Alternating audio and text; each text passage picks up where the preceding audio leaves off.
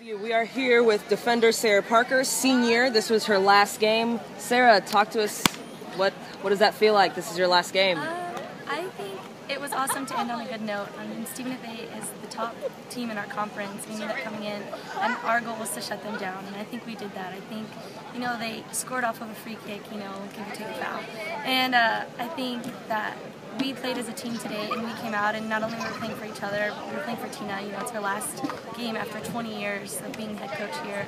And I think today, just we all played together, and it's an awesome feeling. It's an awesome way to end the season. Gotcha. My soccer. There you go. Talk to us about those uh, yellow cards there. Um, you know, there Or there was almost yellow cards. There's a lot of questionable um, fouls that he called. There were 50-50 balls where two players collide, but I think it was reasonable for him to try to give a caution to settle it down so that it didn't get out of hand. A lot of times when each team thinks that he's not calling it their way on a 50-50, it can get dirty really fast. So I commend him for trying to keep the game under control. Okay. Do you have any last words for Coach Patterson?